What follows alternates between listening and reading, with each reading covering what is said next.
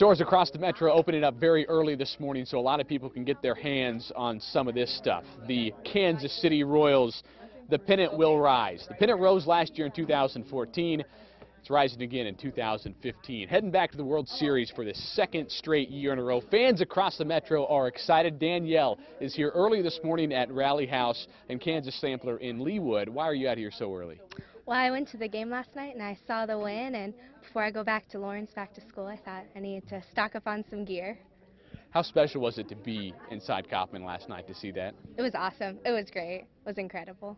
You going to be going to any of the World Series games you're hoping? I hope so. Hopefully. Hopefully I can find some tickets.